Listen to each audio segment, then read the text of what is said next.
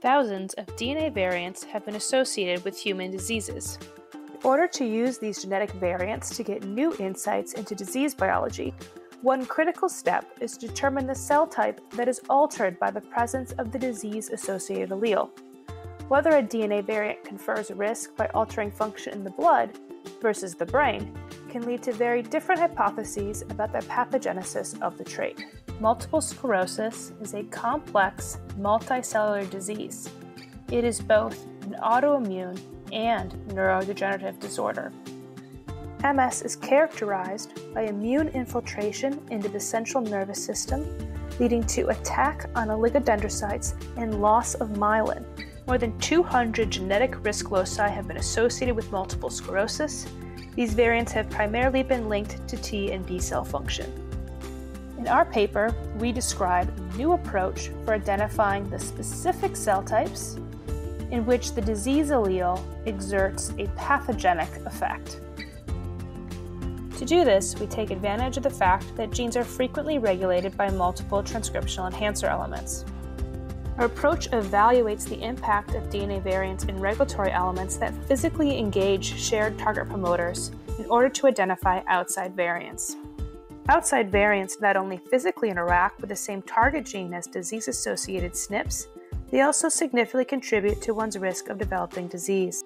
We leverage outside variants to distinguish the intralocus regions that contribute to disease risk from those that do not. By comparing the intralocus risk information to the molecular activity of different cell types measured by CHIP sequencing, we can identify the cell type in which the active regulatory elements correspond with the genetic variants that alter risk to disease. This allows us to predict the cell types that are pathogenically altered by the disease associated variants.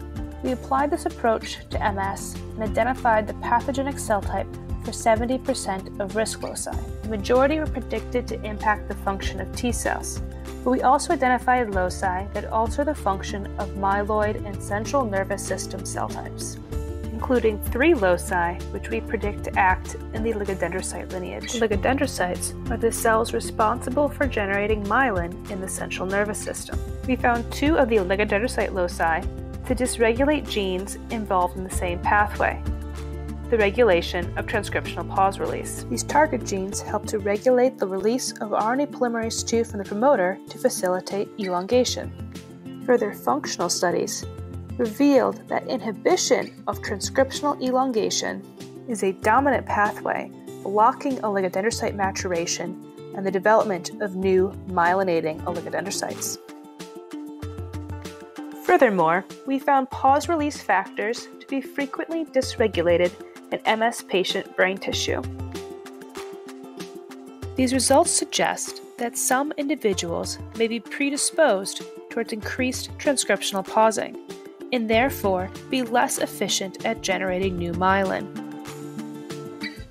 Our study implicates cell intrinsic aberrations outside of the immune system in the genetic risk to MS and suggests new avenues for therapeutic development. Altogether, these results indicate that applying the outside variant approach to multiple disorders could facilitate rapid delineation of the pathogenic consequence of disease associated variants.